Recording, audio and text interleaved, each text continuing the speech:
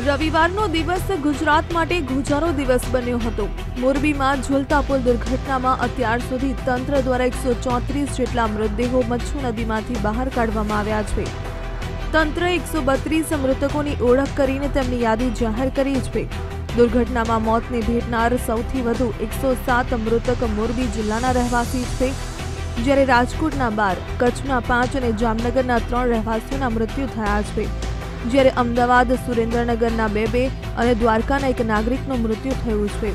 હજુ પણ બે મૃતકોની ઓળખ બાકી છે. તેમજ દુર્ઘટનામાં મૃત્યુ આંક વધવાની સંભાવના પણ રહેલી છે.